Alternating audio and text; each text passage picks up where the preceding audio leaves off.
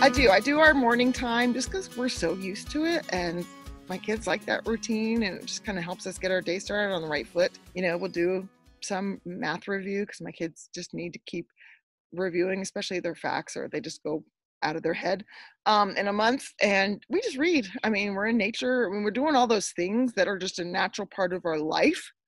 But, you know, you need to sit down and read these 20 pages and then come tell me what happened. Like that kind of lessons we don't do.